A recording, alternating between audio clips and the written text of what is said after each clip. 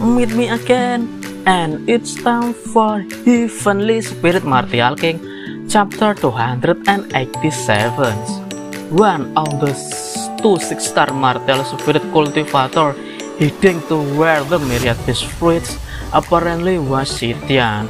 And what unexpected incident Lin Yan met with Sitian in this place. Because Sitian came here, Lin Yan thought that Sitian also wants to get myriad beast fruits.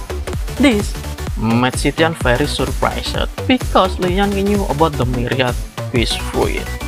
Lin Yan then said that he not only knew about myriad beast fruits, but he also knew the location of the myriad beast fruit. He also knows that there are seven star martial spirit demonic who guarding the myriad beast fruits. This made Sichan think that he really shouldn't underestimate Lin Yan. Because the seven star martial spirit demonic beast were difficult to deal with, Sitian asked to Lin Yan if he had any suggestion on this master. Lin Yan tells Sitian that the demonic beast will through and will be in the crucial period. During this crucial period, the demonic beast cultivation base will be dropped to the six-star martial spirits. Even so, there were three other demonic beasts in the six-star martial spirit realm who guarding the main demonic beast. So Lin Yan invites Sitian to cooperate with him.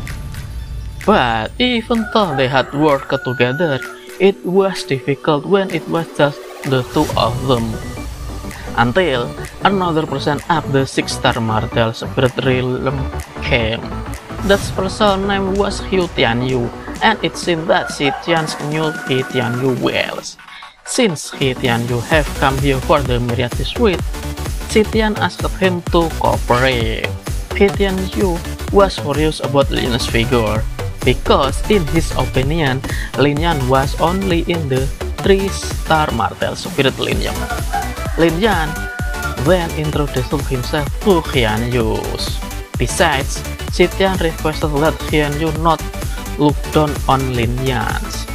Xian Yu then guessed that this information came from Lin Yan. And is this Lin Yan also the one who killed Bai Xiu Xiong? Sitian said that what Xian Tian Hu Tianyu said was all true.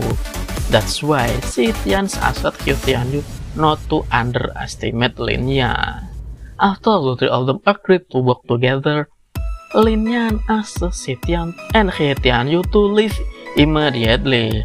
And after flying for a while, the three of them arrived at the place where the myriad biscuit was.